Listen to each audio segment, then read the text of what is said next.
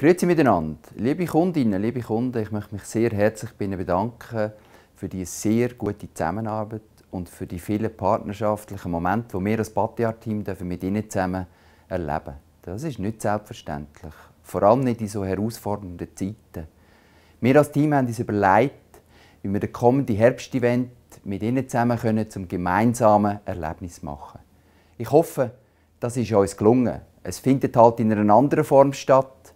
Geben Sie uns doch Ihr Feedback, was Sie dazu denken. Wir nehmen gerne jeden von Ihren Inputs auf, damit wir uns für die Zukunft Ihren Bedürfnissen noch besser anpassen können. Ich freue mich auf jeden weiteren partnerschaftlichen Moment, sei das in physischer Form oder halt manchmal auch digital. Liebe Kundinnen, liebe Kunden, auf meiner Seite herzlichen Dank, dass wir Ihnen die Gelegenheit bieten unsere Neuheiten vorzustellen. Wir haben eine ganze Anzahl von verschiedenen Neuheiten bei uns neu im Sortiment aufgenommen und eine Selektion davon werden wir in diesem Schulungsvideo präsentieren. Wir haben eine spezielle Seite, die wir gemacht haben, wo Sie all die Informationen herunterladen können. Dort sind auch unsere Sales-Folder drauf in der gewohnten Form und auch eine Übersicht über alle Neuheiten, die wir im Sortiment führen. Wenn Sie Muster haben müssen, Sie die bitte über Ihren Aussendienstmitarbeiter bestellen. Das Video ist wie folgt aufgebaut. Wir werden immer eine Sequenz von jeweils zwei Weinen präsentieren, sie durchführen und Sie können die degustieren und Informationen sammeln über die entsprechenden Weine. Ich wünsche Ihnen viel Vergnügen und los geht's.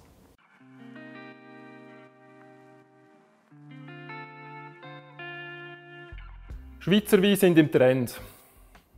Gerne stellen wir euch heute unsere neueste Errungenschaft vor, die Marke Santé. Santé ist eine Linie aus einem, mit einem Weiß und mit einem Rotwein. Sind beides sind Assemblagen.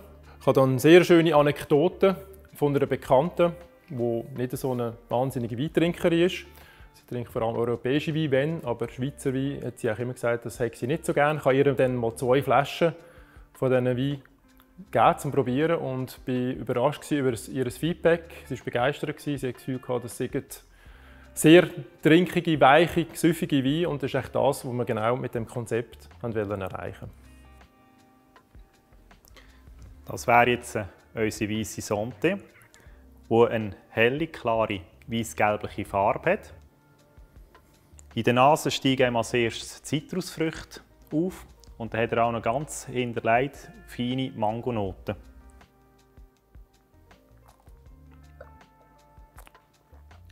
Der Sante hat einen erfrischenden, weichen Auftakt, der von der Säure und dem süßen Spiel lebt und auch einen schönen, langen Abgang, der den Genuss so richtig in den Vordergrund bringt. Durch das haben wir wirklich einen tollen Wein, der für Aperos geeignet ist oder für einen super Start mit Kollegen hier oben rein. Der rote Sante der hat eine wunderschöne rubinrote Farbe. In der Nase wird man von Waldbeere begrüßt, also Heubeere, Brombeere, Himbeere. Und im Hintergrund schwingt noch eine feine Toastung mit. Im Gaumen starten wir wieder mit einem weichen Auftakt und dann haben wir eine ganz schöne Struktur. Eine Struktur, das ist Säure und Gerbstoff die miteinander spielen und durch das uns eigentlich ein schönes Ende bringen, das auch lang anhaltend ist. Und auch dort spüren wir jetzt wieder die Waldbeere-Aromatik im Gaumen. Auch das ist ein toller Wein für einen Abend mit Kollegen zu verbringen. Wir haben mit der Marke Santé zwei modern gemachte Weine, die sich für viele Trinkgelegenheiten eignen. Santé ist auch ein Begriff, der vielen Leuten bekannt ist. Man kann es gut aussprechen, es löst positive Reaktionen aus und in dem Sinn Santé.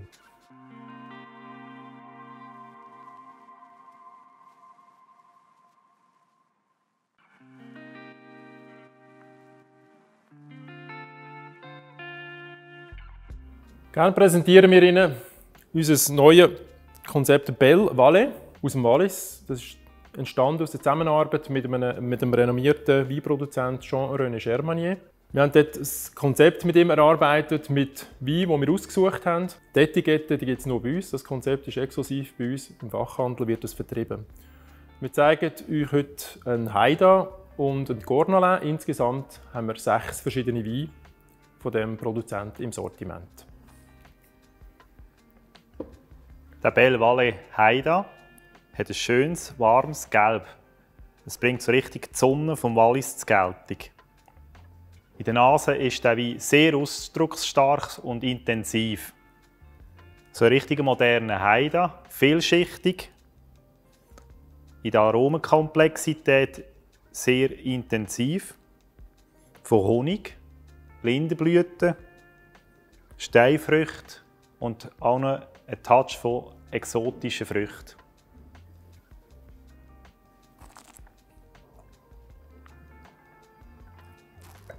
Er hat einen sehr schönen, weichen Auftakt mit einer tollen Mineralität. Auch nachher bringt er immer wieder die Früchte ins Spiel und die Säure, wo, wo, wo man ganz leicht spürt, macht der Wein sehr erfrischend und kann durch das die ganze Komplexität und die Breite, die er mitbringt, toll unterstützen. Durch das wird es auch ein ganz toller Wein, der immer wieder Spass macht zu trinken. Und man mag immer wieder ein Gläschen mehr davon haben. Der Cornelin hat eine wunderschöne schwarz-rote Farbe. In der Nase überrascht er mit einer extremen fruchtigen Aromatik. Mit dunklen Früchten, sowie Pflaumen, Zwetschgen oder Brombeere. Im Gaumen hat er einen runden Auftakt und einen tollen, säuren, süßen Spiel. Dabei sind die Gerbstoffe wunderbar eingebunden und machen den Wein sehr lang lagerbar. Also auch ein toller Wein, den man auch noch zwei, drei Jahre später geniessen kann. Der Produzent hat mit dem Haida, mit dem Gornalin und auch für die anderen vier Weine, die wir auch noch im Sortiment haben, ausgesprochenes reifes, qualitativ hochwertiges Traubengut verwendet. Und das merkt man auch in allen Weinen, in dieser Trinkigkeit, in dieser schönen Frucht. Und da ist Name Programm. Das widerspiegelt echt das schöne Wallis, das Belle Vallée, das Lust macht auf ein Glas mehr.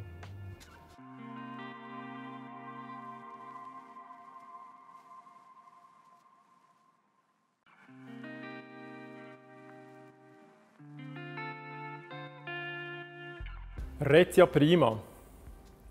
Das ist eine Zusammenarbeit äh, aus der Bündner Herrschaft, wo wir mit einem renommierten Weinproduzenten von Salis zusammen haben. Und eine Weinlinie kreiert haben, die für Batjar respektive exklusiv für den Fachhandel zusammengestellt worden ist. Wir zeigen Ihnen hier zwei Weine. Von der Rezia Prima Linie haben wir insgesamt drei. Wir zeigen Ihnen zwei hier. Das ist ein Blanc de Noir und ein Meienfelder. Einer ist ein weißer und ein roter. Also man sieht aus der Traubensorte Pinot Noir, einer ist weiß vinifiziert und einer ist rot. Neben dem Meienfelder gibt es aus dieser Serie auch noch Malanser, der typisch ist für diese Region. Bei diesem Blanc de Noir obwohl es eine rote Traubensorte ist, haben sie da wirklich super geschafft und es wird ein reiner, klarer Weisswein. Der Blanc de Noir der ist elegant, fein, frisch, fruchtig, also so richtig mystisch, als müsste man einem Bündnergeheimnis entlocken. Der Auftakt ist leicht süßlich, was aber sehr gut zu dieser knackigen Säure passt wo von Zitrusfrüchten unterstützt wird im Gaumen. Also ein richtig toller, süffiger Wein für im Sommer, der Lust macht auf mehr. Die Farbe bei dem Pinot ist jugendlich rot. In der Nase schmeckt man die reifen Pinot Noir Trauben, aus denen es gewonnen worden ist, mit Krise, Erdbeere und Johannisbeernoten. Dieser Meienfelder ist wirklich samtwig weich im Gaumen.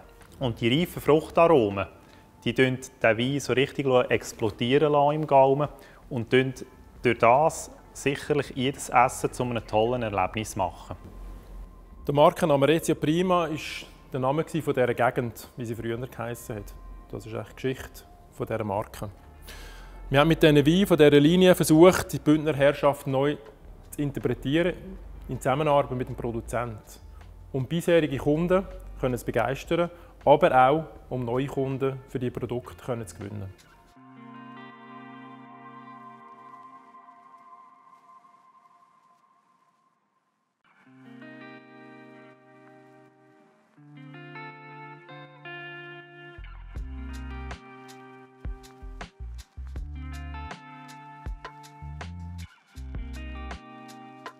Der Leonardo da Vinci wer kennt ihn nicht? Der Künstler, Erfinder, Ingenieur und eben auch Weinbauer. Seine Eltern haben ein Weingut und er hat sich schon in seiner Jugend mit Wein auseinandergesetzt und hat auch eine Methode entwickelt, die Methode Leonardo. Und er schon vor über 500 Jahren das niedergeschrieben hat in seinen Tagebüchern, wie man einen qualitativ hochwertigen Wein kann produzieren kann. Sowohl im Rebberg, im Keller, was es dazu braucht, hat er vor 500 Jahren schon niedergeschrieben. Wir haben bereits schon verschiedene Weine von Leonardo da Vinci im Sortiment. Das sind drei verschiedene Linien. Äh, das ist die klassische Linie, die Vitruviano. Die haben wir hier jetzt nicht. Dann gibt es die äh, Linie Villa da Vinci. Das wäre, wo wir euch nachher vorstellen wo wir auch schon zwei Weine im Sortiment haben. Und schlussendlich noch die Linie Romagna. Das wäre der erste Wein, den wir jetzt euch gerne präsentieren. Hier haben wir schon ein Appassimento im Sortiment. Der Wein sieht sehr ähnlich aus. Das ist ein Sangiovese Riserva. Das ist der Einstieg, das ist der kleine Bruder vom Appassimento. Ein reinsortiger Sangiovese mit einem kleinen, einem kleinen Anteil äh, mit anderen Traubensorten vermischt und hat mindestens zwei Jahre Ausbau in Eichenfässer. Bei diesem Sangiovese sehen wir ein extrem dunkles und intensives Schwarzrot.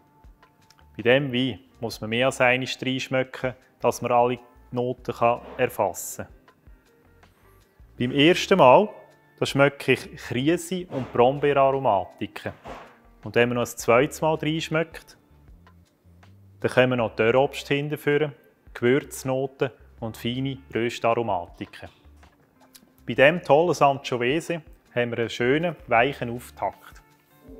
Säure und das süße Spiel die er hat, den Tannin sehr gut einbinden. Und die Tannine die sind von der hervorragenden Qualität. Und auch die Aromaexplosion, die wir im Gau äh, in der Nase haben, die widerspiegelt sich im Gaumen. Sehr schöne Sache. Also man sieht, auch der Leonardo da Vinci ist auch da schon ein Genie gesehen und hat gesehen, dass man aus guter Hegung und Pflegung der Trauben und der tollen Arbeit im Keller auch schon früher hat tolle Weine machen Linarius aus der Linie Villa da Vinci. Linarius kommt aus dem Latinischen und heißt Grenze. Die Reben, die im Besitz sind von, von der Villa da Vinci, sind auf dem Grenzgebiet zwischen Florenz und Siena. Von der hat, kommt der Name. Der Wein ist ein reinsortiger Syrah, wo ein Teil in Barrikfässer ausgebaut worden ist. Im Linarius sieht man die typischen Farben der Syrah-Trauben. Ein kräftiges Rubinrot mit leichten Violettreflex am Rand. Die Nase ist sehr intensiv, von Vanille, Schoki, Kaffeearomatiken und auch Gewürzaromen. Und wenn man das zweite Mal drinnen schmeckt, dann kann man noch rote Früchte hinterführen.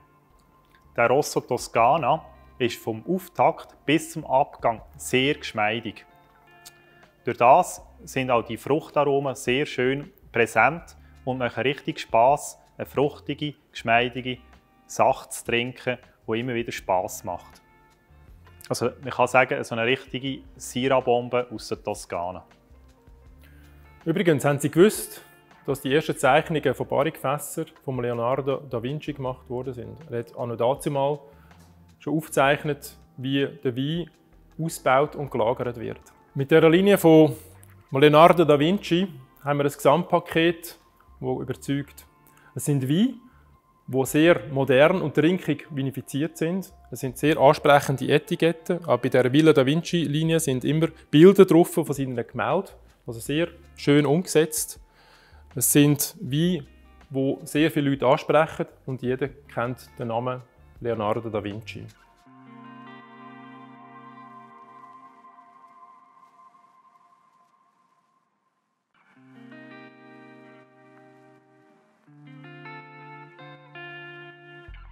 Domaine Lafarge.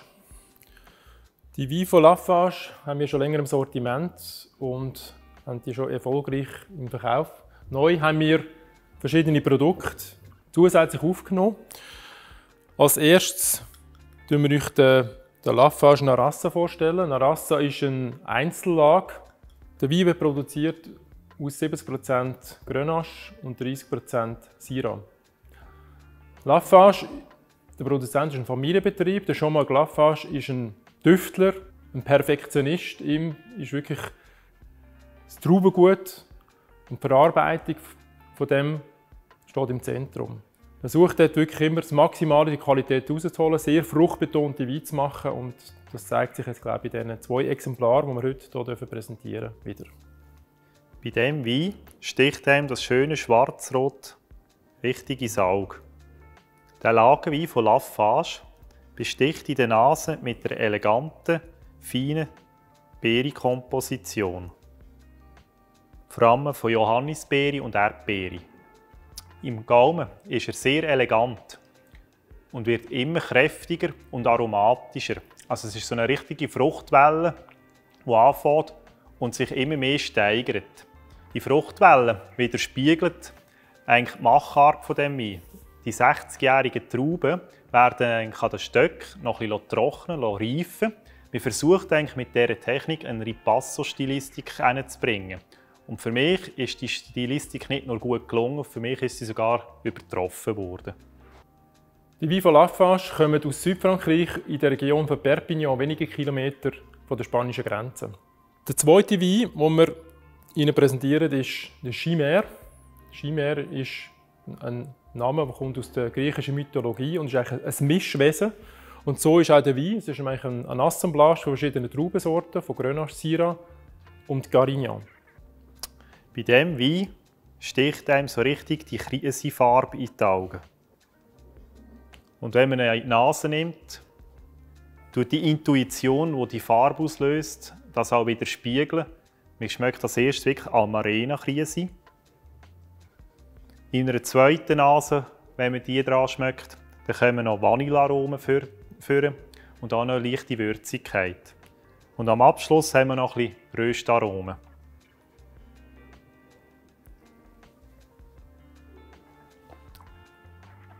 Im Gaumen widerspiegelt sich jetzt hier sehr gut auch die Machart, die sie hier machen. Sie den Wein tiefgärig vergären, das heisst bei etwa 23 Grad. Normalerweise sind wir hier eher bei 30 Grad bei einem Rotwein. Und durch das, dass man das so tiefgärig vergären, kommt eine extreme Fruchtaroma führen. Und auch die sechs Monate, wo man nachher im Barrik lässt, die führen dazu führen, dass man noch eine leichte Röstaromatik hat. Und das ist sehr gut gelungen mit der Stilistik von einer Vinifikation. Also wirklich eine schöne Fruchtbombe aus Südfrankreich. Der Chimère von der Château Saint-Roch. Château Saint-Roch ist ein zusätzliches Weingut, das Domaine Lafarge hat, ebenfalls ca. 20 km vom Meer weg. Wir haben insgesamt fünf neue Weine, die wir nebst den zwei, also drei andere, die wir neu ins Sortiment werden aufnehmen und glaube, die ganze Linie Lafarge überzeugt durch die Perfektion, durch die Kraft, durch die Fruchtigkeit von diesen Wein, die Zugänglichkeit, wo viele Leute begeistert und auch mit diesen Neuheiten wir überzogen sind, dass wir weitere Freunde für die Wein werden finden.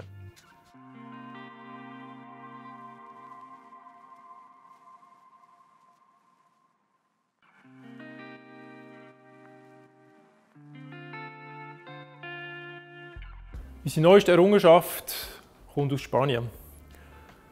Aus der Region Toro. Der Produzent ist Familie Farina, in der dritten Generation, wo sie den Qualitätsstandard in dieser Region prägt haben und führend sind. Wir haben zwei Weine, die wir hier vorstellen. Wir haben noch zwei andere im Sortiment. Also insgesamt sind es vier verschiedene Sorten. Wir präsentieren euch hier die Grianza und die Riserva. Der Grianza als erstes, Jahrgang 2015, wird aus der Traubensorte Tinte de Toro hergestellt. Tinte de Toro ist eine kleinere Form von der Tempranillo-Traube. Die Traube ist aber viel konzentrierter, das zeigt sich dann auch in diesen Wein wieder. Der 2015er Grianza hat eine frische, granatrote Farbe. Die Nase ist sehr elegant mit reifen Aromen von Waldbeere, Lakritze und einer feinen Röstaromatik. Der elfmonatige Ausbau in Barrik spürt man mit dieser Röstaromatik.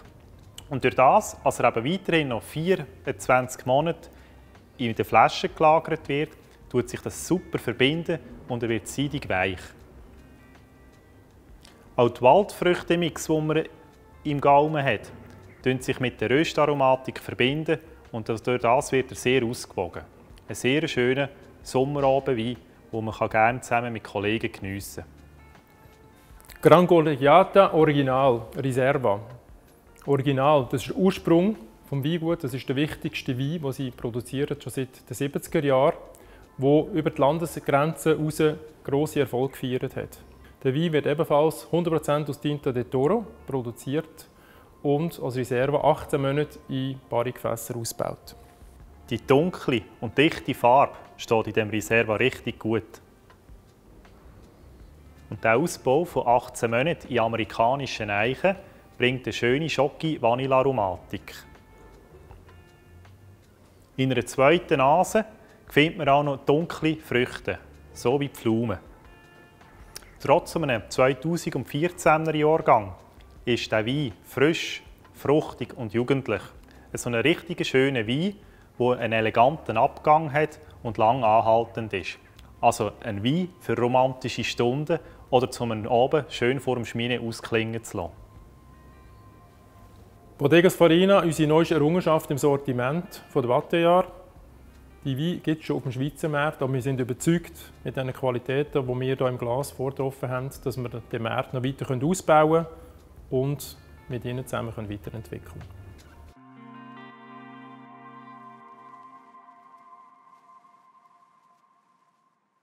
Falls jetzt noch Fragen auftaucht sind vom Schulungsvideo, können Sie sich sehr gerne an Ihren Aussendienstmitarbeiter wenden. Sollten Sie noch weitere Degu-Pakete benötigen für die Schulung von Mitarbeitern oder allenfalls von Kunden, können Sie sehr, sehr gerne bei uns auch bestellen. Profitieren Sie jetzt von diesen Spezialkonditionen von unserem digitalen Herbstevent. Die genauen Informationen finden Sie auf der Einladung, die Sie bekommen haben. Herzlichen Dank, dass Sie gemeinsam mit uns den digitalen Weg gehen. Wir freuen uns auf die weitere Zusammenarbeit und auf ein erfolgreiches letztes Quartal.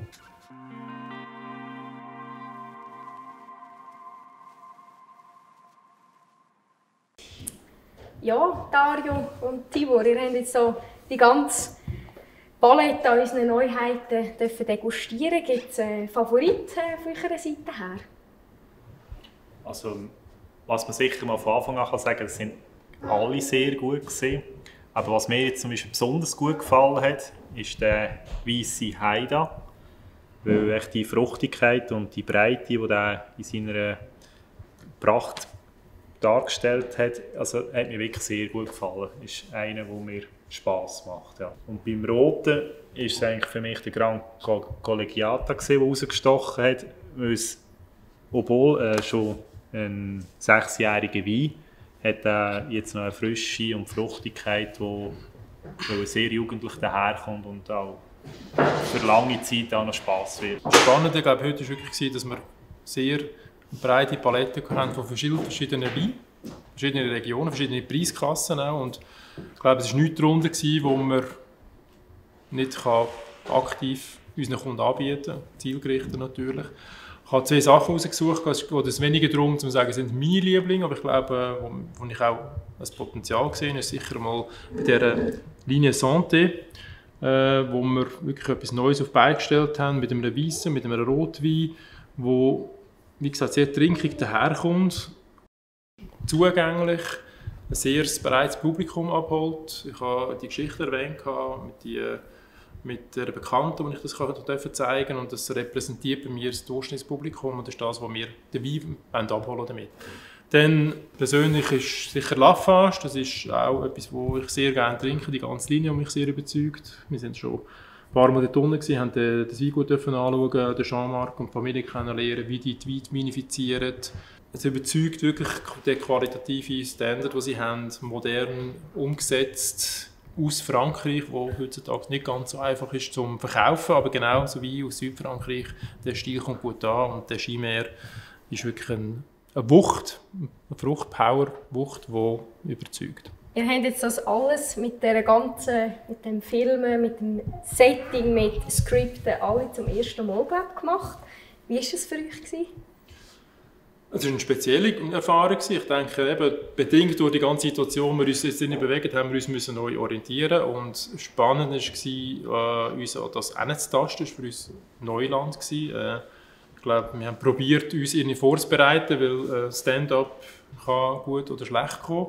Es hat wirklich Spass gemacht und ich denke, das ist etwas, was wir künftig in dieser Form sicher können weiterentwickeln können. Vielleicht gibt es neue äh, Möglichkeiten, um solche Sachen weiter umzusetzen. Das Neue vor allem daran war, ich habe zwar die Wein degustieren und ähm, präsentieren, aber was anders war, ich habe kein Feedback bekommen. Oder normalerweise habe ich immer, äh, wenn ich sonst mit so Wein präsentiere, habe ich eigentlich Leute, die mir dann sagen, ja, stimmt, stimmt nicht, ist es so. Und da hast du echt ja, niemanden der Daumen auf und Daumen runter macht. Das war eigentlich ein spezieller. Gewesen.